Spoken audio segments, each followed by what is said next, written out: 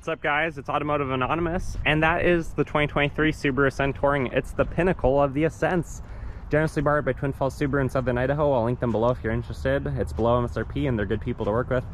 Otherwise, we're gonna go through the specs, a walk around, 0 to 60, driving impressions, final thoughts, and decide if it's worth your time and hard-earned money. Is this the vehicle you're looking for? While I have your attention, please consider liking, commenting, and subscribing to help the channel grow. I'd really appreciate it. And for those of you who already have, thank you guys so much. It's really fun to connect and feel your support. Otherwise, getting right into it, this is the Ascent Touring. It's the pinnacle. It's the eighth of eight trim levels. It replaced the Tribeca starting in 2018. The Ascents, the base model is 34,000. This one would start at 48,000, but with destination and some LED lighting upgrades, it's closer to 50 grand. What makes the Touring its own trim level, its highest class above the Limited and the Onyx Limited, is Nappa leather navigation.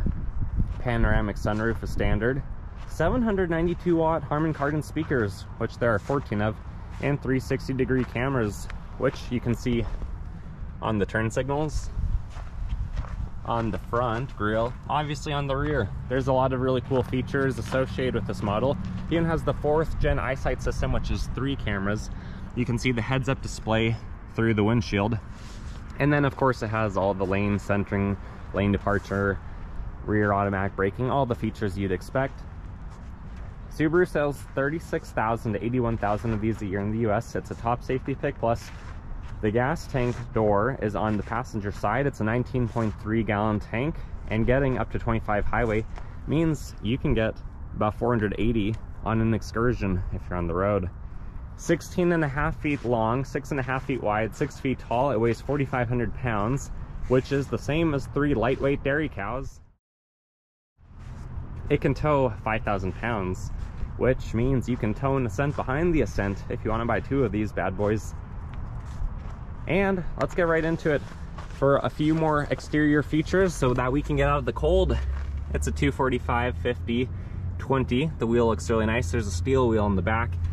It has the chrome, brushed chrome looking side mirrors, which when you lock the vehicle, they fold in.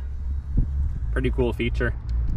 We're gonna unlock the vehicle. You can see the chrome lining around the parameter of the windows. Chrome on the door handle. Proximity key means you can lock it, again, that way, or you can unlock it. Subaru likes to give you a lot of options for how to get in and out of your vehicle. To the door panels, they look really nice. Lots of stitching throughout. We have the wood finish, we have memory seats. We have a really soft, comfortable armrest, and then we have a pretty deep pocket that has a finger tip grip in there. You could fit a whole lot of extra change in there. Two bottle holders and some snacks. The first of the Harman Kardon 14 speaker sound system. Baby looking Subaru on the door sill plate. Power options, Nappa leather. They are extendable, which is really cool. You have some more features here, controls. You have the fuse panel, you have the hood release, you have some rubberized pedals and some really nice floor mats. Look at that panoramic sunroof. It's beautiful. You have another storage spot right here on the Ascents, big enough to fit four cheese sticks wide or a men's wallet. Firing it up with push button start. First thing you should do after this point is turn on the heated steering wheel, which is really nice. For 23, you have a toggle switch rather than the extra paddles, so if we toggle through the settings, MPG is only as bad as is because of all the time idling where this is a brand new vehicle volume controls here, all the adaptive cruise controls here. If you want to do uh, auto um, cruise control without eyesight, you can turn it on and then hold that button and you'll see the symbol change. Now we would be in cruise without eyesight. 11.6 inch screen. We have cooled seats, heated seats, all the options for HVAC stay down here, which is really nice. This one, of course, has the navigation I mentioned. 12 volt wireless charging, aux, USB-C, USB. If you want to play around with the paddles, drop it down to manual mode. Play some musical simulated gears all you want. Electronic parking brake, a couple cup holders. We got a lift tray that you can fit even more change if it doesn't all fit in the door pocket. Felt lined, no plugins, but it is quite spacious for this class of vehicle. We have the digital rear view camera, which is awesome, but it does take a little bit of time to get used to. And you can control a few interesting things. You can control the brightness up and down, side to side, rotation, things like that. You can set up the HomeLink system. You do have the camera to keep an eye on grandma in the back seat, or if the kids are misbehaving, you know exactly who's touching who. You have a sunshade, of course. We're gonna leave it open though. And then if it was a nicer day, we'd pop open the sunroof because it's so nice up there. Otherwise, let's show you the 360 degree camera before we move on to the rest of the vehicle. Pretty cool. Perfectly fits our surroundings. All right, we're gonna turn off the car, hop in the back seat. Autumn green metallic paint sure looks good on this one. Darkly tinted on the back windows and the rear. We have the sunshade. We have an actual cup holder. Really nice lining around the window, our only control right there. Deep pocket, you can fit a good amount of stuff in there. Maybe some Froot Loops and then two bottles of water and whatever else your heart desires fits right there. Child safety locks would be right here if you want those on. You have a few steps to get up to the roof rails and you have the options to fold the seats down to recline and if you're in the back that's how you get out. Sitting behind yourself, 5 foot 11 I have all the room I need. I could be a little bit generous, I'll even slide forward. I can still be a backseat driver, enjoy the panoramic roof, and tell the front what I need, what I want. I have all the controls I need, USB-C, USB, cup holders down here, and 120 volt. So I could plug in a toaster, I could conveniently set it right here, and I can off for a good time. Trying to get behind herself, make sure that the armrest is up and out of the way. The back seats, the Nappa leather looks really good back here. You of course have another Harman Kardon speaker, couple bottle holders, a change tray, child safety latch. No center armrest though. But it looks pretty identical on the other side with a few additional plugins. All right, guys, let's get out of here. Vents and everything up top. Drop it, slide it, and escape. Pretty easy to get out of.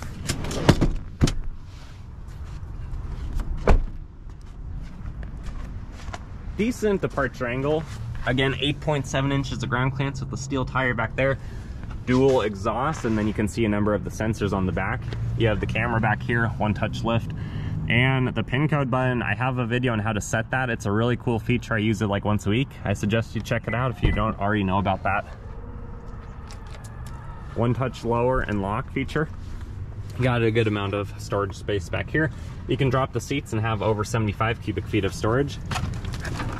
And then kind of a wet tray. You could fit something, swimsuits, a wetsuit, things like that down there. Some of this ice and snow that's falling down. Otherwise, it looks like we have our sunshade, privacy shade down there. And then in those spots, you'd have the tools to get that spare tire off and switched out. One touch lower.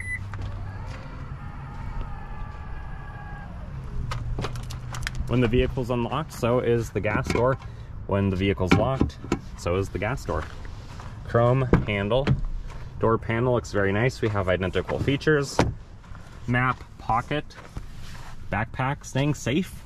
Really hasn't moved around much. If you're riding shotgun, what do you get? Wood, trim, stitching, nice comfortable armrest, identical speaker, and storage space. Power options, of course, no embroidery, no logo stamped into the leather. You do get a tray here. And then the locking glove box, which isn't huge. It is felt lined, looks really good. And I don't see a USB or a 12 volt in there like you get on the Outback. But let's get around to the front. Let's see what the sole powertrain of the Ascent looks like. Where is that 2.4 turbo? I want to see it is because this is a pretty big vehicle the turbo engine is sunken down a little bit compared to some of the other turbo Subarus You of course get the ducting to the top mount intercooler that goes through the grill. You have the battery, positive terminal with the red, negative over here, windshield reservoir, coolant reservoir, top mount oil filter is a fantastic design. Engine oil fill, 0W20, brake fluid. You then on the passenger side get air vents to the ducting, to the filter, through all the magical plumbing that leads it through the Spinny Boy turbo to make that 260 horsepower. Then it goes through the air cooler to cool down one last time through the throttle body, and then it's diverted into the four cylinders of the horizontally opposed boxer. If you look really close, you can see the line down there that divides the two halves of the engine. Next to it, you got the alternator up top, the oil dipstick, and then you have this little plastic serpentine belt cover so you don't lose some fingers in the engine bay because I guarantee they're gonna be hard to find. In the back, if you look really close, you can see where the CVT connects but there's quite a bit of room. If this ever had to be worked on, I don't think it would be that big of a challenge. Let's drop the hood, take it for a drive. And we're gonna teleport inside and give you initial driving impressions and then the zero to 60. Turning radius is fantastic. Handles the snow really well with these stock tires.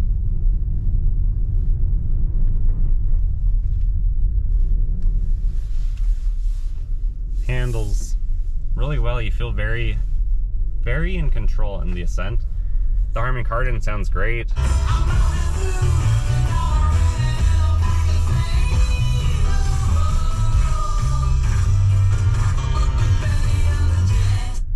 Whether you're listening to Elton John or another of your favorite artists, you're gonna be enjoying it. It's gonna be a good time acceleration and getting up to speed isn't even a problem.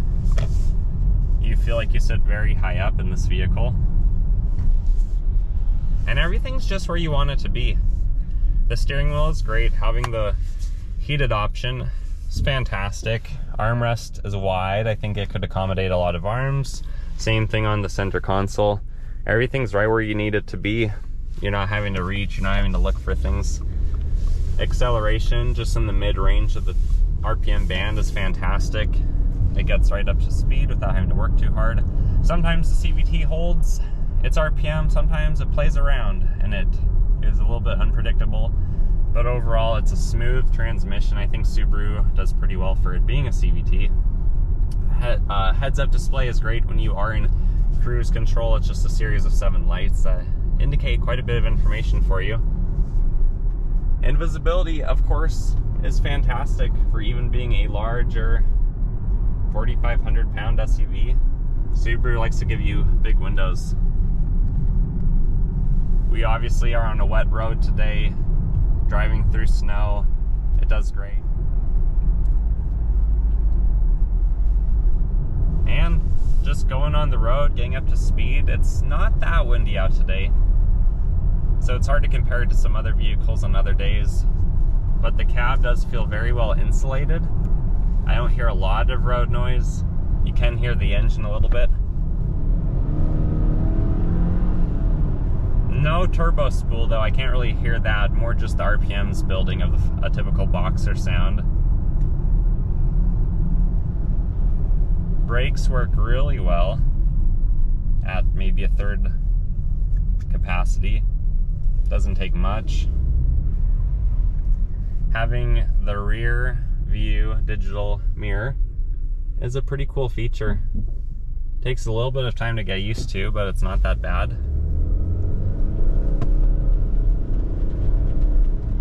I really don't have any complaints about the Ascent. I think it's a good vehicle. It's just deciding is the Touring the one that you want? Do you have 50 grand to spend or to finance or potentially lease? Is this is this the vehicle that you and your family are going to want, are going to need? It's really nice. If you can swing it, it's a good offering. I think basically all the Subaru models and trim levels seem to be quite fair for the price range that they are in today's economy. Where this is a $50,000 SUV and the average new vehicle right now is 48,000. Doesn't this seem a lot nicer than the average vehicle? But that's for you to decide what I'm going to decide is what I think of the 0 60. So let's get right to that on our private road. 0 to 60, We are with traction control off. Density altitude is 2200 feet, so we're down on power about 3.5%. I'll do a brake rev on the CVT and we'll see what it can do. I'm posting this with the GPS, so I'll show you what the foot of rollout excluded would be. That's the way the magazine rates it, but what I'll verbalize in this film is what it actually does 0 to 60 given real life situations on our private road. It is a little bit wet out. I don't expect us to get wheel spin, but we'll see what it can do.